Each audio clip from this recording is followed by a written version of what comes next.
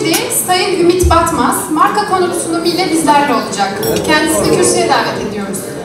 Dondor Ümit Batmaz ne ha pregătit o prezentare despre branduri. Aşağıda îl invit pe scenă. White wine or red wine?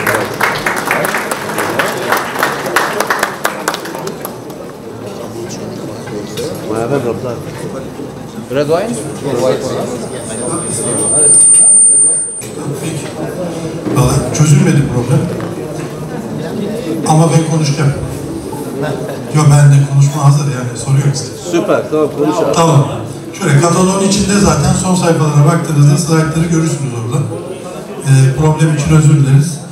Ee, I'm so sorry, I will be speaking in uh, Turkish because I presented the slides in English. So uh, those who are not speaking uh, uh, Turkish, they can, they can follow the slides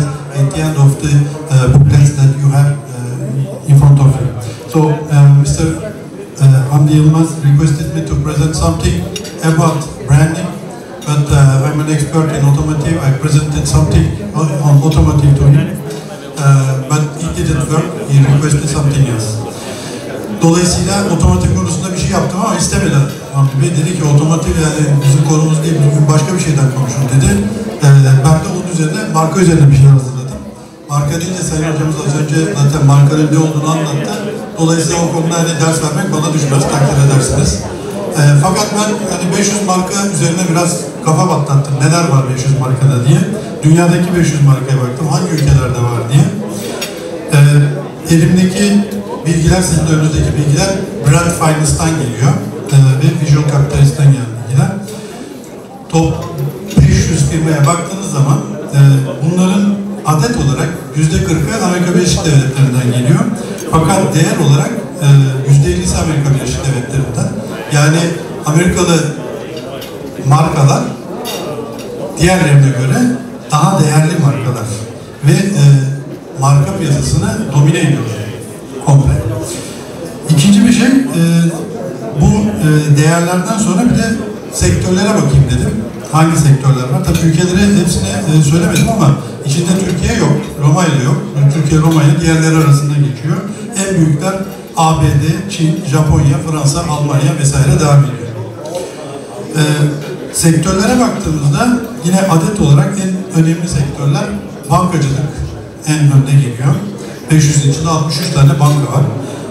53 tane perakendeci var. Perakendeciler biliyorsunuz pandemi döneminde e, tavan yaptılar.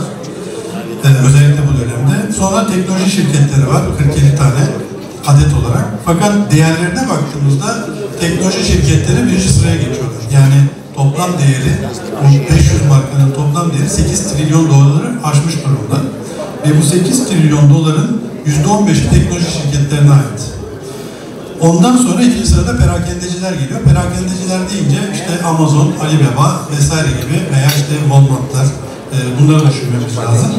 Bu 500'ü değerlendirdiğimizde yani zaten bir takım sonuçları e, söyledim size ama Türkiye'nin içinde olmaması yani daha doğrusu 5 yıl içinde hiç Türk markasının olmaması düşündürücü. Biraz e, üzerinde çalıştıktan sonra şu sonuçlara e, ulaşıyoruz aslında. Marka konusunda dediğim gibi az önce e, uzun bir şey aldık. E, ne derler? Ana fikri e, hocamız bize ifade etti. Dolayısıyla tekrar edeceğim ama bizim şirketlerimizde uzun vadeli düşünme yeteneğini geliştirmemiz gerekiyor ki markaya yatırım yapılabilsin. Çünkü marka kısa vadede gelişen bir şey değil. Yani ben kendi çalıştığım firmalardan örnek verirsem e, bizim karşımıza gelen marka uzmanları bugün yatırım yaptığımızda ki otomotiv alanında konuşuyorum e, karşılığını 25 sene sonra alacağımızı anlatıyoruz. Yani bugün marka için yatırım yapa, yapmaya başlarsak 25 sonra 25 sene sonra bu geri dönüşü alıyoruz. Çok uzun vadeli düşünmek gerekiyor. Bunu unutmayın çünkü Dacia'ya geri döneceğim. Romanya'nın markası. Bu ne kadar önemli olduğunu anlayacaksınız. Ee, uzun vadeli düşünmenin. Ee, kısa vadede yatırım tabii e, öne geçiyor. Kaygı, e, kar kaygıları öne geçiyor. Bir de tabii müşteri odaklı düşünmek lazım. Bu müşteri odaklı düşünmek her alanda yani sadece sanayi, e, ticaret anlamında değil aslında devletin de verdiği hizmetlerde müşteri odaklı düşünmek lazım. Çünkü her tarafta bir müşteri e, imalci ilişkisini geliştirirsek o zaman kalite algısı herkes açısından değişiyor. Ee, tabii hızlanıyorum Hamdi Bey zamanı dar beni. Ee, ondan sonra da Romanya'ya baktım. Yani Romanya'da neler oluyor? Yine slaytlarda görürsünüz. Romanya'da e, ilk 10 markaya baktığımızda en büyük marka IMEC. Perakende. İkinci marka Dacia. Sonra devam ediyor. Tabi bu ikisi 1 milyar dolar ve üstünde değer taşıyorlar. Diğerleri daha e, ne diyeyim 600 bandına iniyor. 600 milyon dolar bandına iniyor. Ve ondan sonra hızla 200'e doğru düşüyor. Üçüncü sırada Dedeman var. E, gene perakende diye e, varsaymamız lazım. Dördüncü sırada OMV Petrom. Ondan sonra e, Banka Transilvanya, DJ, Elektrika, BRD, BCR ve Catena. Farmacia Catena şeklinde gidiyor. E, burada dikkat ettiyseniz Stockholm'da 3 tane banka var gene. Se- Aynı şekilde değerlerine baktım bir de bu Roma, e, Romanya'daki markaların değerleri ne vaziyette diye. Şimdi çok enteresan bir şey var. Adet olarak baktığınızda markalara e, bunlar işte perakende, biracılar, e, ondan sonra yemek sektörü şeklinde gidiyor. E, otomotiv yok yani ilk 10 içinde otomotivi bulmuyorsunuz.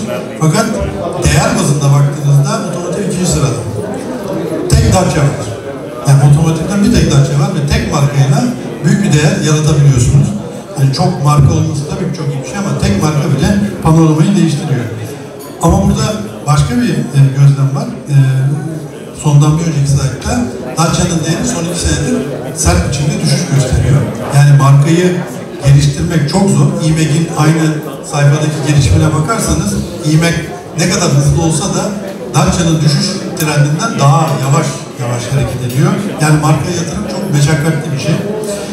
Gene sondan bir önceki sayfada e, Hamdi Bey'in sözünü ettiği Romanya'daki o belli markayı koydum.